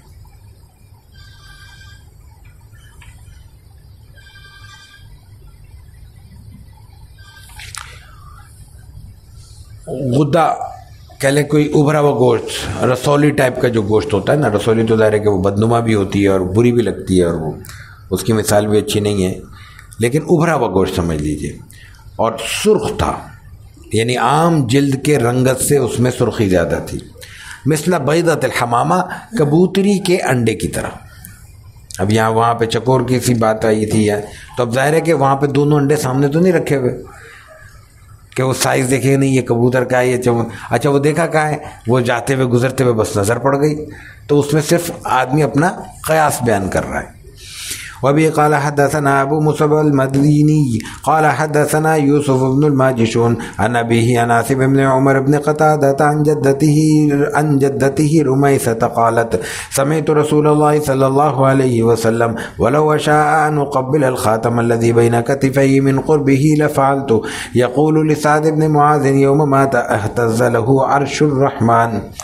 अब ये वाक़ कुछ और है सिर्फ़ एक जुमला आया है उस जुमले की वजह से रिवायत यहाँ नकल की है। ये रिवायत इमाम तिरमिज़ी के उस्ताद अबू मुसब अलमदीनी नकल करते हैं। उनके उस्ताद यूसुफ बिन माजिशून है। वो अपने वालिद यानी माजिशून से नकल करते हैं। माजिशून नकल करते हैं आसिम बिन उमर बिन कतादा से। अन जद्दती रुमैसा। आसिम बिन उमर बिन कतादा अपनी दादी रुमैसा से नकल करते हैं। वो क्या कहते हैं? वो खातून है, वो कहते हैं। समेत रसूल सल्लल्लाहु अलैहि वसल्लम मैंने आप सल्लल्लाहु अलैहि वसल्लम से सुना। क्या सुना? वो आगे आ रहा है जुमला। दरमियान में वो अपनी कैफियत बयान कर रही कि मैंने कैसे सुना, कब सुना? वलो अशा अन उकबिल ख़ातम लजी बैन कतिफ़ी मिन क़ुरबी लफालतू। मैंने जब आपसे वो बात सुनी जो मैं आगे जाके बयान कर रही हूँ, उस वक्त मैं ज़ात रिसालत माब सलात व तस्लीम से इस कदर करीब थी कि अगर मैं चाहती, अगर मैं चाहती तो आप सलात तस्लीम के दोनों कंधों के दरमियान उभरी हुई मौजूद मोहर नबूवत को चूम सकती थी। ज़ाहिर है कि कई फुट के फासले से तो नहीं चूमा जाता। तो उस वक्त आप वसल्लम के मैं बहुत करीब थी। उस वक्त आपने एक बात फरमाई, वो बात मैंने सुनी। बात किसके मुतालिक है? साद बिन मुआज के मुतालिक है रज़ी अल्लाह तु हज़रत साद बिन मुआज बड़े सरदार हैं, अंसार के। और गजब खंदक में वो ज़ख्मी हुए हैं। उसके बाद बनी कुरैज़ा पेश आया है। गजब बनी कुरैज़ा में उन्होंने फैसला किया और उसी वक्त उनका इंतकाल हुआ है। रसूलुल्लाह सल्लल्लाहु अलैहि के साथ उनका जो ताल्लुक़ मुसलमानों के साथ जो ज़ाहिर वो तो मुसलमान ही तो हो गए थे तो वो जो कुर्बानियाँ और जो इसार और जो उन्होंने फिर उलुल के साथ हर मुश्किल वक्त में जिस तरह वो फ्रंट लाइन पर खड़े रहे तो उसकी कदर होती है। तो वो ज़ाहिर है कि आप सल्लल्लाहु अलैहि वसल्लम के लिए बहुत, फिर चूँकि अंसार में से थे तो अलैहि वसल्लम ने तो हमेशा अंसार की कदर की कि उन्होंने आपको दावत दी, उनको बुलाया आप फिर पनाह दी, फिर उनकी खिदमत की, साथ रखा और सारी जिम्मेदारियाँ निभाई, पूरे अरब की मुखालफत मोल ली। हर मौके पर कदम ब कदम साथ रहे, सारी जंगों में साथ कुर्बानियाँ दी, माली इसार, जानी इसार, अपनी सियासत का इसार, अपनी अपनी सरदारी का, हर चीज़ का इसार है उनका। तो उस कैफियत में रसोल्ला वसल्लम ने उनके लिए एक जुमला कहा। क्या जुमला कहा? जुमला ज़ाहिर कि इससे मुतल नहीं है, लेकिन रिवायत का हिस्सा है। वो कहते हैं कि यकूल बिन मुआजिन यौम मात जब हज़रत साद बिन माज का इंतकाल हुआ, उनकी इतला मिली तो आपने फरमाया एहतज़लहू अरशुर्रहमान आज दोनों लफ्ज़ तर्जुमे किए गए हैं कि आज अल्लाह रहमान का अर्श थर्रा उठा या झूम उठा। एक तो ये कि आसमान वालों को खुशी हुई कि भाई इतना बड़ा आदमी, इतना नेक आदमी हमारे पास आ रहा है। दुनिया से झमेलों से फारिग होके। ज़ाहिर असल मंजिल तो वही है हर इंसान की, हर मुसलमान की, हर साहिब ईमान की। तो उन्होंने खुशी की कि लो भाई, दुनिया वालों ने तो इनकी सलाहियतों से बहुत फ़ायदा उठा लिया। अब हम इनसे, अब हम इनको देखेंगे। एक नेक रूह हमारे पास आ रही है, अब इनको बैठ के करेंगे। और दूसरा है तजब मतलब ज़ाहिर है कि वो हिल गया, थर्रा उठा। ज़ाहिर कितना बड़ा हादसा है, इतनी बड़ी शख्सियत का कत्ल है, शहादत है, उसको मारा गया है तो ज़ाहिर है कि उस पर उसने अपने खौ, या खुशी का इजहार किया, या सदमे का इजहार किया, बस दोनों बातें।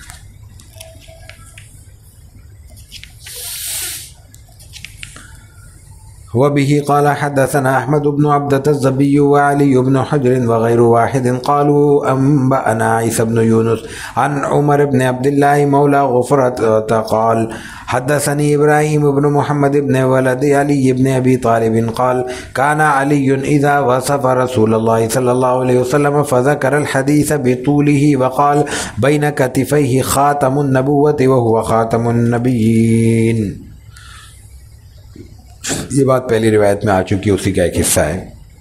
इमाम तिरमिज़ी के उस्ताद अहमद इबन अबदा अजब्बी हैं, वो और अली बिन हजर हैं और उसके अलावा भी हैं। इमाम तिरमिज़ी कहते हैं कि हमें दो तो ये हैं, और भी कुछ लोगों ने, गैर गैर वाहिद इनके अलावा भी कुछ साहबा ने, कुछ हजरात ने मुहदसी ने हमें रिवायत नकल की है। कालू, सबने क्या कहा है? अम्बाना ईसा बिन यूनुस सब के उस्ताद ईसा बिन यूनुस हैं, और वो नकल करते हैं उमर बिन अब्दुल्ला, मौला गफरा गफरा दायरे के किसी शख्सियत का नाम है, उनके जो मौला है, उनके जो ग़ुलाम हैं, उनसे। ग़ुलाम से मुराद वही है, जो हम पहले दर्स में बयान कर चुके हैं कि आम तौर पे यहाँ ग़ुलाम भी मुराद होते हैं और आज़ाद करदा ग़ुलाम भी मुराद होते हैं। जब ग़ुलाम आज़ाद हो जाए, तब भी उसको मौला कहा जाता है, उसको विला की नस्बत उसी से हासिल रहती है। कला हसन इब्राहिम इबन मोहम्मद इबन, मोहम्मद मिन वलद अली इबन अबी तालिब। हज़रत अली इबन अबी तालिब रदी अल्लाह तहु के औलाद में तो ज़ाहिर है कि बहुत बड़ी सीरीज़ है, सिर्फ़ हज़रत हज़रत हज़रत हुसैन तो नहीं, और भी हैं। तो उनमें से एक हैं कोई इब्राहिम बिन मोहम्मद। उनसे नकल किया है और वो कहते हैं कि काना अली युन वो कहते हैं कि हज़रत अली, यानी अपने वालिद से नकल कर रहे हैं। इदा वसफ़ रसूल अलैहि वसल्लम जब हज़रत अली रज़ी अल्लाह तु जनाब रसूल अलैहि वसल्लम की सिफत और आपका हुलिया बयान किया करते थे तो फ़ज़ा कर हदीस अभी तूली पूरी रिवायत जो पिछले दर्स में बयान हो चुकी है, दरस अव्वल में, वो बयान करते थे और कहते थे बई न कतिफ़ई ही ख़ातमनबूती व हुआ ख़ातमनबीन कि आपके दोनों कंधों के दरमियान एक मोहर थी और आप अलैहि वसल्लम ख़ातमनबीन थे। तो ज़ाहिर इसमें कोई नई बात नहीं है। वबी काल हदसना मोहम्मद बन बशार काल हदसना अबू आसिम काल हदसना अजरत बन साबित काल हदसनी बन अहमर यशकरी यशकुरी काल हदसनी अबू जैद काल हदसनी अबू जैद अमर बन अख्तब अंसारी काल काल अली रसूलुल्लाह सल्लल्लाहु अलैहि वसल्लम या अबा जैद उदनु मिन्नी फअमसह ज़हरी फमसहत ज़हरहु फवक़अत असाबई अलल ख़ातम क़ुल्तु वमल ख़ातम काल शारातुन मुजतमिआ बात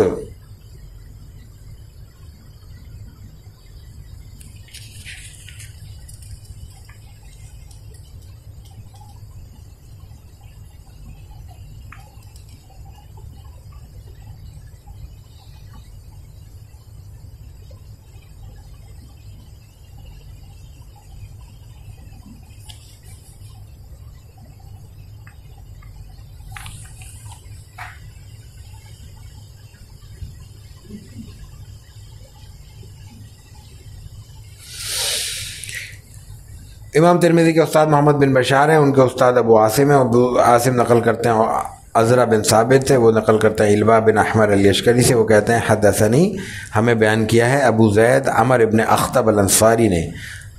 ये वो साहबी हैं जिनको ये शरफ हासिल हुआ कि आप कहते हैं, मुझे रसोल्ला वसम ने फरमाया कि या अबा जैद, उदनु मिन्नी, मेरे पास आओ, मेरे करीब आओ।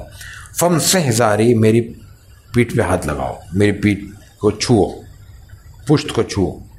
क्यों छुआ? ये रिवायत में बयान नहीं हुआ। मेरे इसमें कुछ भी कहा जा सकता है। आपने उनको एक शरफ देना था, या ऐसा मकसद होगा कि आपने कुछ महसूस किया होगा? कोई चीज़ महसूस हो रही होगी कुछ चीज़ चल रही है, या ऐसे आपने छूने के लिए कहा? बहरहाल, इतनी रिवायत है कि फम साजारी फमसह तो जहरा। मैंने आपकी पीठ पर हाथ लगाया।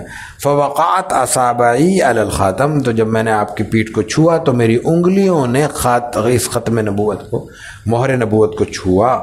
तो अब ज़ाहिर देखें, उन्होंने देखा नहीं है, छुआ है सिर्फ़ तो अब उनकी रिवायत के अल्फाज अलग हो जाते हैं। वो क्या कहते हैं? मैंने पूछा, फिर क्या था? क्या महसूस किया आपने? वमल ख़ातम, कैसी थी मोहर? तो काला शारात उन मुजतमियात कुछ बालों का गुच्छा था।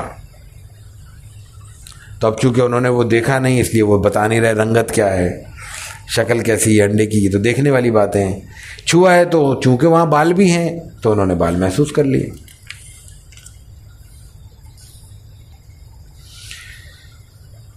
एक इसमें बात और भी हो सकती है कि मुमकिन है उनके जहन में ये ख्याल हो कि वो देखना चाहते हो मोहर नबूत को। तो आपने कहा अच्छा भाई, तुम्हारे जहन में आ रहा है, तुम छू के देख लो। इसलिए कि ये कई दफ़ा हुआ है। एक रिवायत आगे भी आ रही है, इसलिए मैंने ये बात अर्ज़ की कि उसमें किसी का ख्याल था वो कि मैं देखना चाहता हूँ तो आपने ना कपड़ा था, हल्का सा चादर हटा दी कि भाई आसानी से देख कहा कुछ नहीं, उसको मौका दे दिया। तो ये भी यहाँ मुमकिन है बात हो। वाखिर दावानल्हमदिल्ला आगे रिवायत है, ज़रा तवील। तो कम अज़ कम पंद्रह बीस मिनट दरकार है, इसलिए आइंदा नशीस में पढ़ेंगे और बाब अभी चल रहा है।